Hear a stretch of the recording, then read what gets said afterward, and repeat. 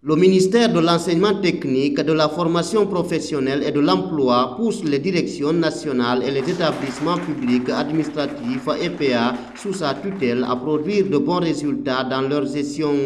Une cérémonie axée sur la signature des contrats annuels de performance a eu lieu à cet effet ce mardi 31 janvier 2023 entre le ministre Alpha Bakar Bari et les responsables des directions nationales et les EPA. La signature de ces contrats de performance devra permettre à chaque acteur du département de l'enseignement technique, de la formation professionnelle et de l'emploi de s'auto-évaluer pour l'année 2023 et de produire des résultats appréciables aux yeux des décideurs.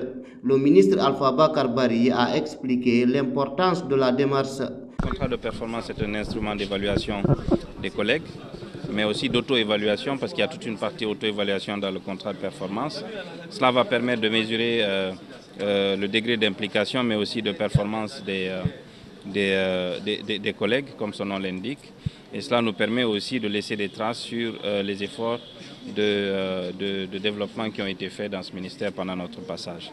C'est un instrument qui va permettre aussi à la fin de l'année de savoir euh, quels sont les collègues qui ont besoin d'assistance pour qu'ils puissent être beaucoup plus performants, quelles sont les directions, quelles sont les lacunes, quels sont les euh, gaps afin que l'on puisse corriger cela pour l'année prochaine? Alors il y a beaucoup de projets d'infrastructure, mais il y a aussi beaucoup de projets de formation de formateurs et de déploiement d'effectifs.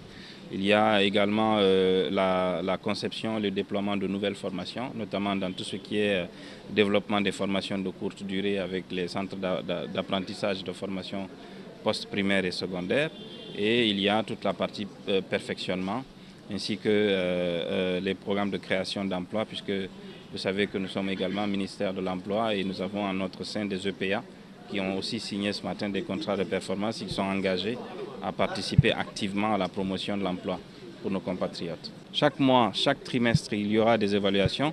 Les évaluations se feront ici en interne, mais aussi avec la primature. Et comme je vous ai dit, de façon dynamique et continuelle, nous allons procéder toute l'année à évaluer les performances des uns et des autres, y compris le ministre. Oui, absolument, positives et négatives qui sont prévues en cas de contre-performance, mais aussi euh, des mécanismes d'appui pour que ceux qui sont contre-performants puissent l'être euh, juste après la constatation. Les responsables des directions nationales du ministère de l'enseignement technique, de la formation professionnelle et de l'emploi et ceux des établissements publics administratifs qui ont signé les contrats de performance avec le ministre s'engagent à accompagner la démarche du département.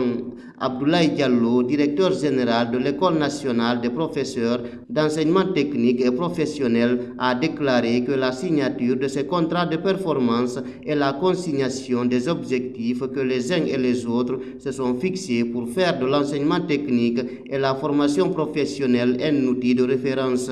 On vient de signer un contrat de performance. Vous savez, quand on a des objectifs, il faut pouvoir les consigner, mais il faut aussi pouvoir s'engager. C'est tout le sens de ce qu'on vient de faire. Quand on s'engage, on a beaucoup plus d'énergie pour pouvoir atteindre les objectifs.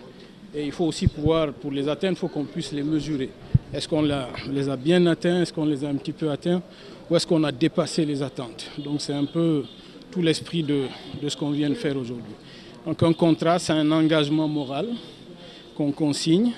C'est quelque chose qui nous oblige et c'est quelque chose qui nous, va nous motiver à aller dans le sens euh, de tout ce qu'on a entamé il y a, un an depuis l'avènement du, du CNRD dans le cadre de l'enseignement technique et de la formation professionnelle. Donc en soi, c'est une démarche d'amélioration continue et c'est très bien comme ça.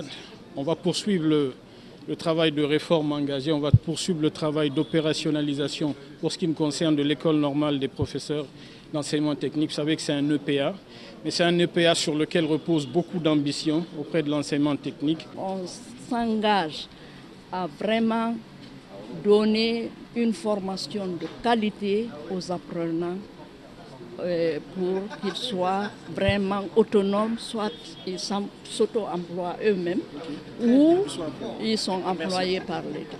La présente signature de contrat de performance concerne l'année 2023. D'autres services relevant du ministère de l'enseignement technique, de la formation professionnelle et de l'emploi seront soumis au même exercice dans les prochains jours.